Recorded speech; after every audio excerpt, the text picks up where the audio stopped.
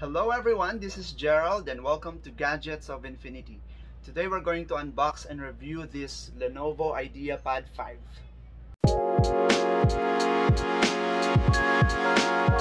ko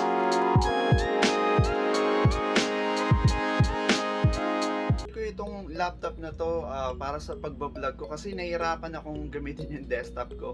Ah, pag gusto kong kunyari pumunta dun sa ibang ibang area para mag-edit ng videos, ng vlogs ko. So ito, magagamit ko talaga siya. Bago lang ako sa pagbablog, mga one month pa lang ako and so far na-enjoy ko naman kaya support nyo ako guys by subscribing to my channel para mas marami pa akong ma-share sa inyo na product un- unboxing, product reviews, product recommendations. Para sa mga aspiring YouTubers na katulad ko na naghahanap ng affordable and magandang performance na laptop, panoorin mo itong video na to para makita mo kung approve ba sa'yo or hindi. Alright, let's see what's inside the box.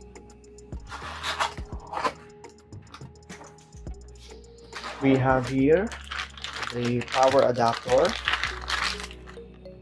It's a uh, 65 watts round tip wall mount power adapter.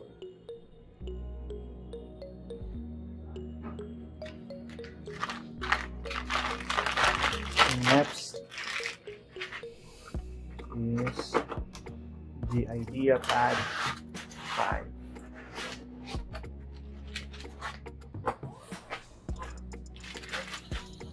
We have here the setup guide manual, the safety and warranty guide, and the Idea 5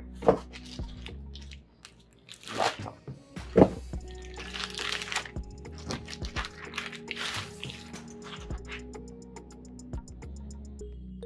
Okay, punta naman tayo sa systems configuration ng laptop na to. And let's start with the display size. It's a 15.6 inch Full HD 1920 by 1080 resolution and IPS type na siya or in-plane switching monitor. Ano ba ang advantages ng IPS display panel? Maganda ito kasi mas mabilis ang response time, mas wider yung viewing angles, better color and contrast than many VA and TN panels, and outstanding ang color accuracy and screen consistency nito. Next naman natin is the processor. Itong sa akin kasi is 11th Gen Intel Core i5. Pero meron itong configuration na Core i3 and Core i7. Meron din option to choose AMD Ryzen 5 or Ryzen 5. It's up to you kung ano yung need mo. Pero itong Core i5 okay na okay na to eh. For vlogging, for office use, or for school use. Yung RAM naman ito is a soldered 16GB DDR4. Ibig sabihin ng soldered is fixed na siya, hindi mo na ma-upgrade. Pero 16GB na yan eh, powerful na yan. Sa storage, it's a 512GB PCIe solid state drive and yung graphics is it's NVIDIA MX450. So that is the main systems configuration of the Lenovo Idea Pad 5. Additional specs would be etong sa audio part naman, meron siya sa harap na speakers, Dolby Audio na. It supports Bluetooth 5.1 and Wi-Fi 6 enabled na din. Supported niya na yung latest Wi-Fi technology which is 802.11ax. Sa battery naman, hindi na siya detachable and can last up to 17 hours. Meron na ding rapid charge boost feature. Ibig sabihin ng rapid charge technology ni Lenovo is kaya niyang i-charge yung battery ng laptop mo ng 80% in just 30 minutes. At hindi naman siya ganun kabigatan. It's it's 1.66 kilograms lang yung ano, yung timbang nito. So napakaganda ng uh, pagkaka-configure ng ng laptop.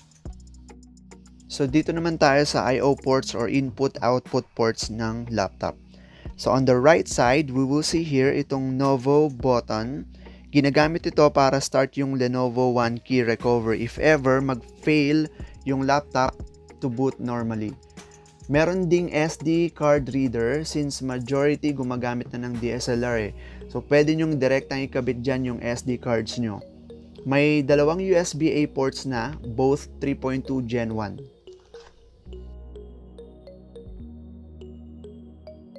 Sa kaliwa naman, we have headphone or mic combo port, HDMI port, USB Type-C na 3.2 Gen 1 port na may power na din. So, pwede mong i-charge yung laptop na to using a power bank na Type-C port din. Basta make sure na yung power bank na gagamitin mo supports laptop charging.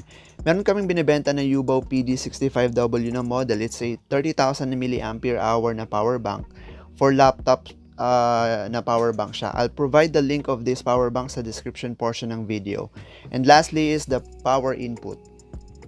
Ngayon naman, tignan natin yung physical appearance and design.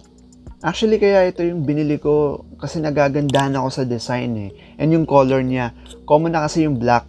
Ang color nito is platinum gray. Meron ding ibang colors, color options depende sa region. So, meron itong granite black, light teal, and abyss blue color. Ayan yung top portion. Ang ganda. Very neat. Tignan. Even yung mga edges niya, ang ganda ng pagkakadesign eh. At yung sa bottom part naman, makikita natin yung ventilation. So, yung design and color niya is one of the deciding factor kung bakit pinili ko ito. Tignan naman natin yung security features ng Lenovo IDEA 55. It's equipped with a privacy shutter to block the camera when you don't want to be seen. Ang isa pang gusto ko dito eh meron siyang fingerprint reader on the power button kaya madaling mag-login. Check din natin yung volume. Regarding naman sa volume, para sa akin malakas na siya eh. eh pero ito paririnig ko siya sa inyo.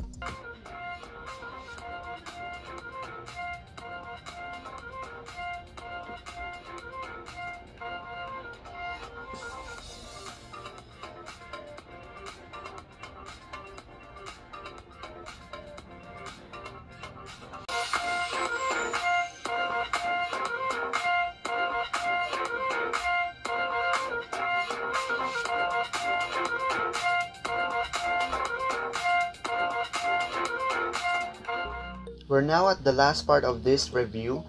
I-check naman natin yung speed and performance niya. Sa pag-boot, napakabilis lang in less than 5 seconds nasa login page na ako. At gaya nga ng sinabi ko, binili ko siya for vlogging, editing ng mga videos uh, na ginagawa ko. So, mahigit one week na siya sa akin, itong laptop, kaya natest ko naman mabuti. I'm, I'm using Filmora X, by the way, Uh, and so far, very smooth naman siya. Walang lag and freezing na nangyari. Kaya I highly recommend this to my fellow YouTubers. Pwedeng pwede din for the office use and student use.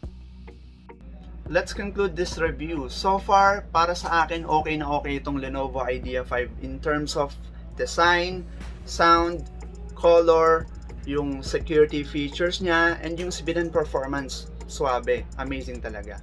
Alam ko yung nasa isip mo eh kung magkano. So, binili ko to for 49,990 sa Lenovo Robinsons Manila. Guys, thank you so much for staying and for watching this video. Na-appreciate ko talaga. If you want more unboxing, product reviews, and product recommendations, mag-subscribe ka na sa channel ko. And that would be all. Thank you so much. Bye-bye.